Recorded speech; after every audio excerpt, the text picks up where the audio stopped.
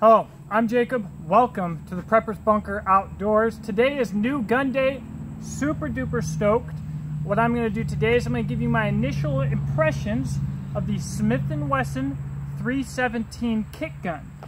So what we're going to do today is, uh, first off, we're going to take a close-up look of the gun, at the gun. I'm going to tell you what I think about fit and finish, whatever else. And uh, then we're going to shoot about we're going to shoot exactly a bunches of ammo through it. Precisely a bunches of ammo. This ammo here, interestingly enough, this Winchester, you can see I wrote my name on there. Looks kind of childish, like a seven-year-old wrote it, because my dad found this ammo in our house, and a seven-year-old wrote it. So uh, that's going to be interesting. Real quick, I was watching YouTube reviews on this pistol and reading reviews on forums, and they were like 90% uh, negative or advising that you buy another pistol. So why would you drop serious cash on a pistol where 90% of the reviews are negative? And I think in one review, I found the answer to most of the negativity uh, that was found throughout all of the other reviews, uh, nothing fancy especially, and that is that the uh, aluminum doesn't play well with lead. We're going to see if that's true. So we both have cheap lead bullets that are who knows how old. And then we've got some golden bullets which are coated here. We'll see if there's any difference in reliability, accuracy, etc. with that. Uh, what we're going to be shooting today is the extended gun Skele-Targets. Um, they're basically my favorites because they're bright, uh, colorful, and they show me what to shoot at. But uh, why did I buy this pistol? You might have uh, noticed from my last video that I had a Ruger Mark IV Hunter and I wasn't happy with it eventually because once I had it in hand I realized it was so dang heavy that it didn't make any sense for what I wanted, which was uh, not only a hunting pistol, but one that I could throw in the bag for a bug out bag or whatever. Um, and when I started looking at multiple 22s and realizing that my fully loaded Glock 17 that I carry every day with 18 rounds of self-defense ammo was 35 ounces, so if I was going to have an additional emergency 22, it needed to be considerably lighter than that.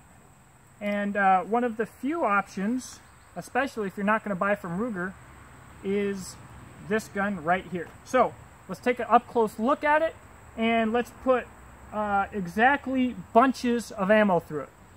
All right, because I'm sure people will ask, this pack is made by the Hidden Woodsman, and uh, these are all cool people. The Preppers Bunker Outdoors patches are available at beachintactical.com. Gadsden Dynamics is legit. I like shooting Fiocchi ammo. Let's take a look at this pistol. Man, it is hot out. So what's special about the pistol, it weighs 12 ounces. Basically everything is aluminum except for that thin stainless steel barrel sleeve, uh, the cylinder rod, trigger, hammer, internals, sights, whatever. 12 ounces, guys. It feels like you're not even holding a real gun. So um, the first thing that I've got to say when you pick up this pistol, especially if you're used to uh, more affordable stuff, is you notice immediately the fit and finish, the little details, like this out of the trigger guard here is just beautiful. The hammer and trigger both have kind of like this, uh, it almost looks like a surface hardening finish, almost like a color case hardened, but more muted.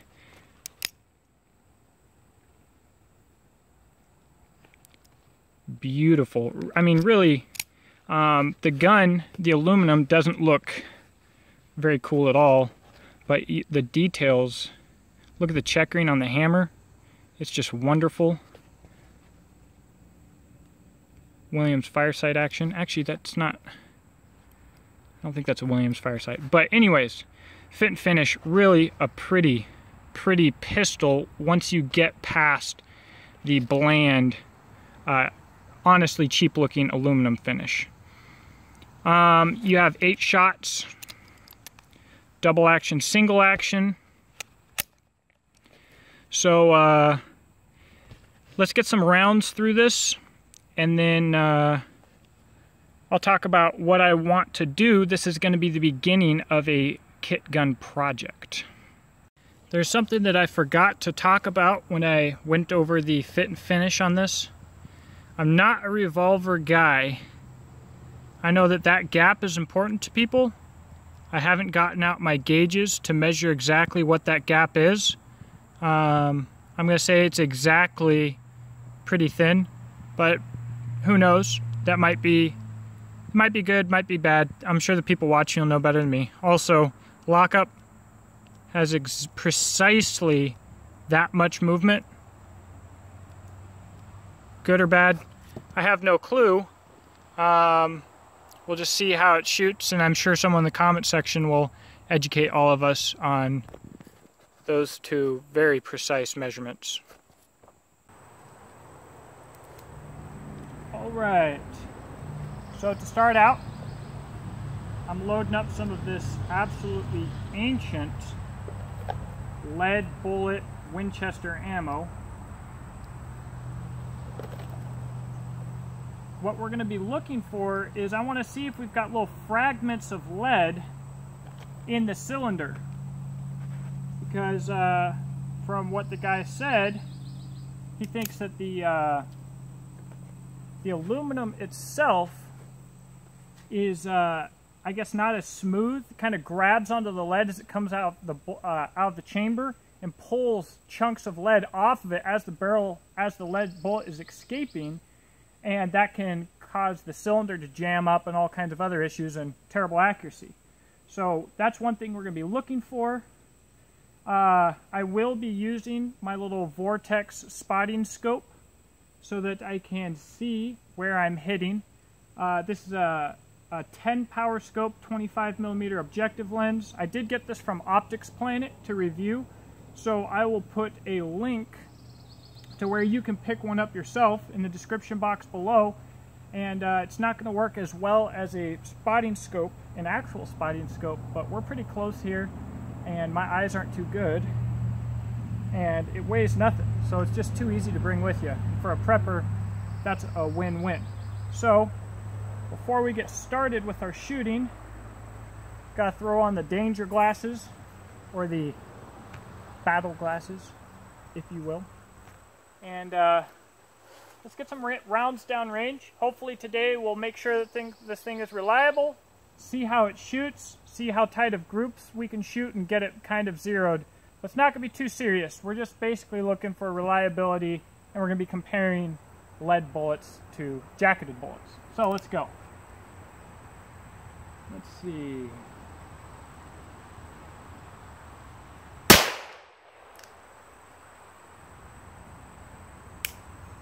Oh my.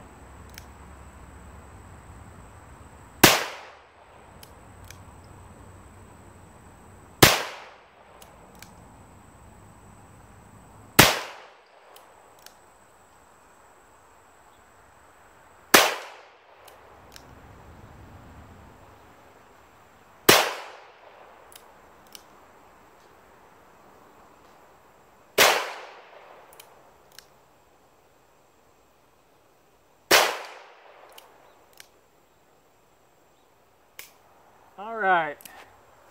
Looks like we had one dud from Ancient Ammo. We got solid uh, hits on each round, so I would definitely say that was a failure from ammo. We are empty. We do have a lot of crap in the cylinder here. Uh, I'm going to load it up again and shoot a whole bunch more, and then I'll we'll take a look down the cylinder and see what we can see, and then we'll see if it's any better with jacketed ammo.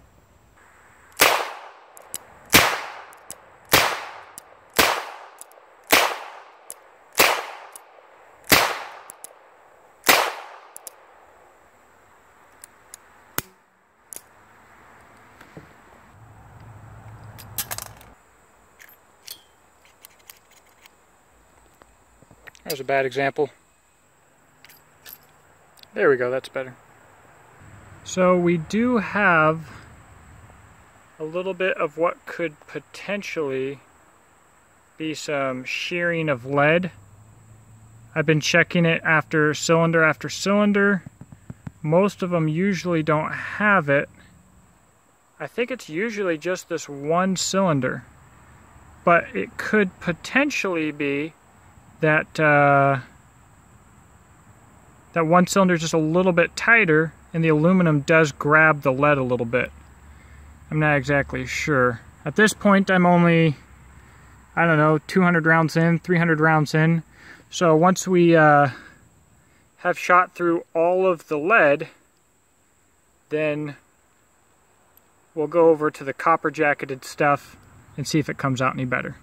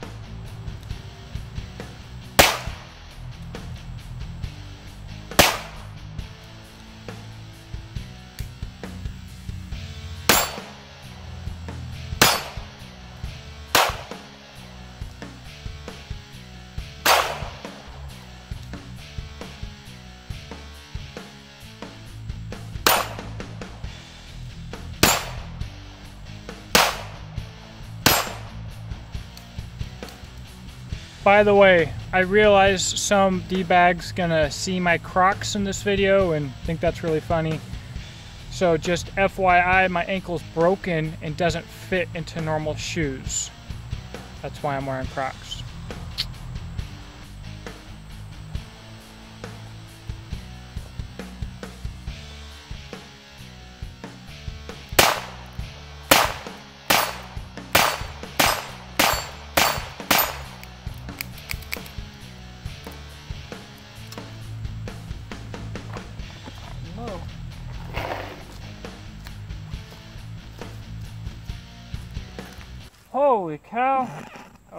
Snuck up on me.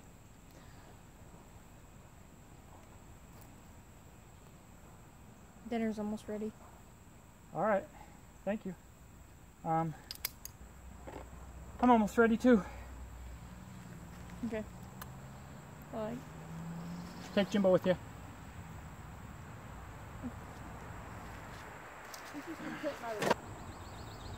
All right, so we have shot through the entire old box of Winchester Xpert 22 hollow points, 36 grains. Um, you know, I said that there's exactly a bunches of rounds in here. I'm going to guess between 400 and 450 rounds. Uh, not a new box, so I can't be sure, but it was mostly full. So now we're going to be shooting, I'm just going to shoot a little bit of just normal regular golden bullets. We're going to load it up here, and uh, we're going to see if we see any of this ugliness in the cylinders or barrel.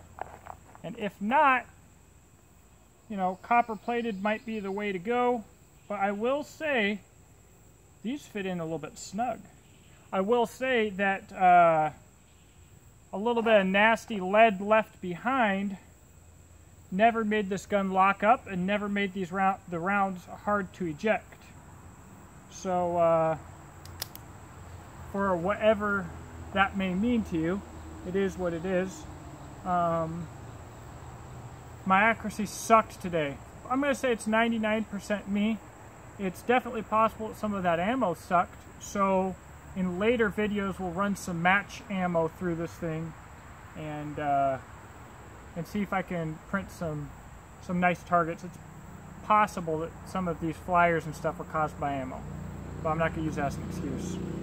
So let's put on the uh, CM goods and uh, kill this iron here.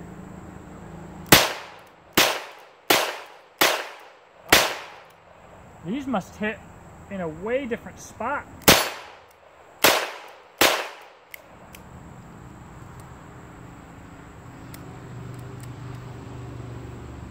Huh.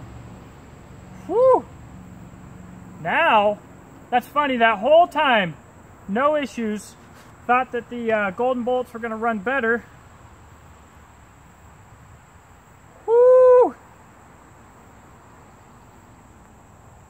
That old girl is really in there.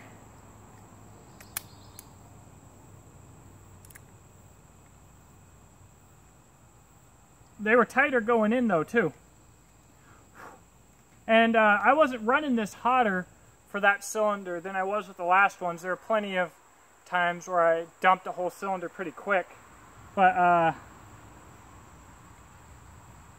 I'm to let it cool down before I really reef on anything. That's wild. And it just goes to show there's probably ammo that this revolver likes better than others. I'm to give it a second, then we'll see. Real quick, while I was out there, I forgot to show you this, but uh, after shooting the jacketed bullets, we've got no lead in the cylinders. We got a little bit of crap there, but uh, I definitely think that your jacketed bullets are going to shoot cleaner, which is kind of obvious, but I think the size of the cases that you're shooting is more important than whether you're shooting lead or jacketed bullet uh, 22 long rifle. So I'm pretty excited to shoot some more ammo and see what this thing really likes or see if that might just be a fluke batch of ammo. All right, I got the cylinder unloaded there. I did have to use a uh, motivational device. Nonetheless, uh, this is actually not Remington Golden Bullets. Once you've taken the time to tape up a box like this so it's not annoying, you might as well reuse it, right? So these are actually Winchester Super X. They are hard to put in, and that just means they're going to be... I don't know if I'm going to be able to eject all of these easily before they're fired. A couple of these cylinders are whew, tight with this ammo. Let's see.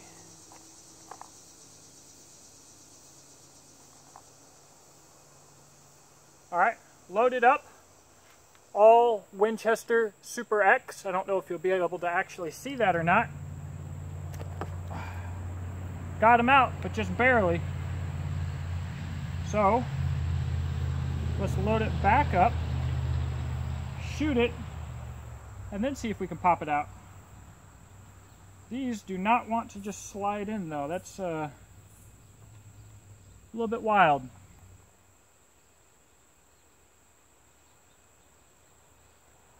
Yep. Put on the CM Goods, the danger glasses, the birth control glasses, if you will. All right.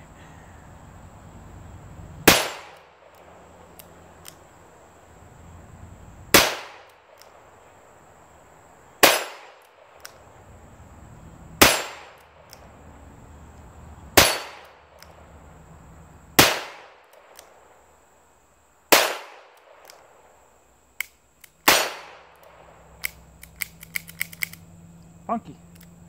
All right. Moment of truth.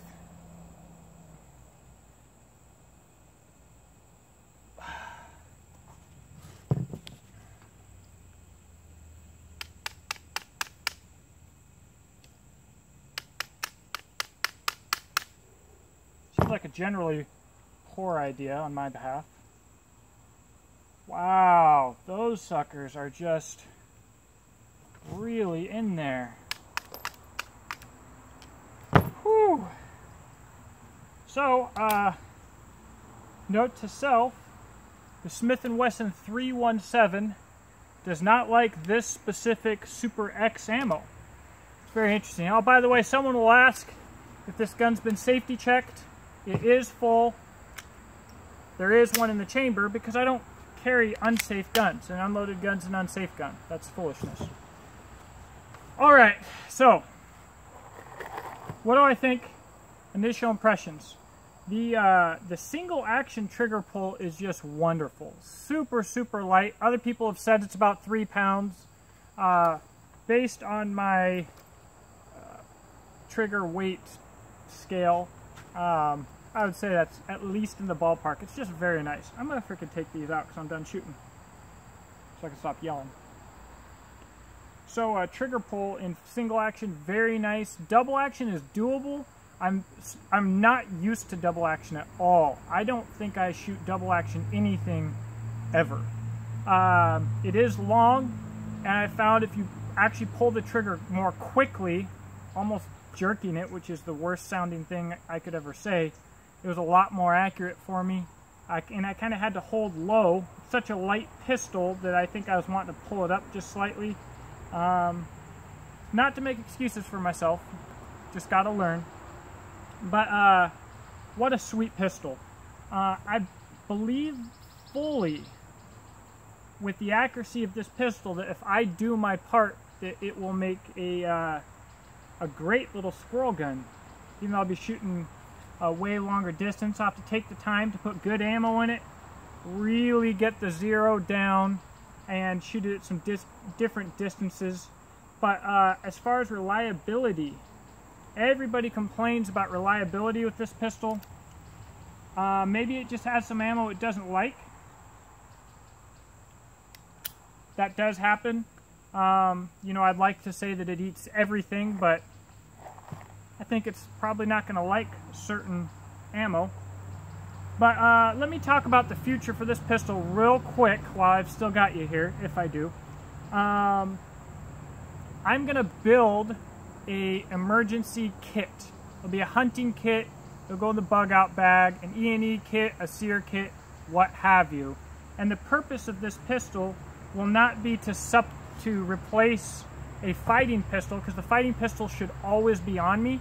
The purpose of the kit will be either in a fanny pack or in a pouch to all or for hunting or whatever to always have a little 22 pistol for hunting with some extra ammo in a completely separate pouch that's fairly waterproof that I can take out with me and probably have some other little survival gear in there as well. Who knows? That's what I'm going to do instead of a holster. So I'm thinking instead of a holster, you'll have a military style pouch with the top flap, almost like a IFAK.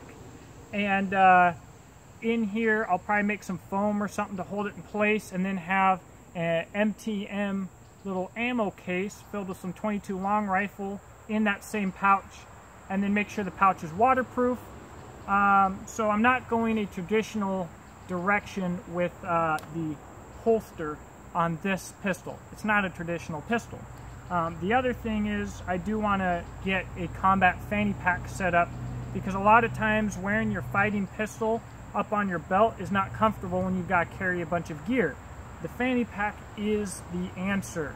And I got that idea from Jaeger, and I raised an eyebrow at it at first, but honestly, it is the way to go. So, uh, on the way, I believe I have some Hogue grips, G-Mascus G10. They're a little bit shorter, a little more packable, very grippy though, and I think that that's going to be awesome. I did plan on Cerakoting this, um, and with everybody's complaints about uh, the finish and how long it lasts, just being simple aluminum, it seemed like a great idea. Uh, online, I couldn't seem to find if uh, Smith & Wesson would honor their warranty on a Cerakoted firearm. It makes sense that they wouldn't, but it seemed like everybody was saying different stuff. I called up Smith & Wesson. Hey, uh, if I get my pistol Cerakoted, will it void the warranty? No hesitation, no let me ask somebody, nothing. They were just like, yes, instantly. I was like, oh, okay. So if you're a Smith & Wesson person, do not Cerakote your pistol. That but Smith & Wesson, if you're paying attention, if you could make this pistol polymer and aluminum and cut like $200 off of the price, uh, I think everybody would want one of these, especially if you did it in like an FDE polymer. That'd be phenomenal. And why that would be so cool is when you scratch it, you can't really tell because the color goes all the way through. But I really wish I could get this Cerakoted. It's not going to happen, but we are going to build a kit. So do I think that this pistol is worth the $650 that it typically goes for? Even though for the same price you could get a Model 63 in stainless steel, weighs about 26 ounces, uh, yes, I do. Uh, I am completely satisfied with this pistol so far. First impressions video. Um, so we're just going to keep banging on it, keep doing videos on it. Hopefully we can tighten up the accuracy or I'll learn to shoot, you know, whatever.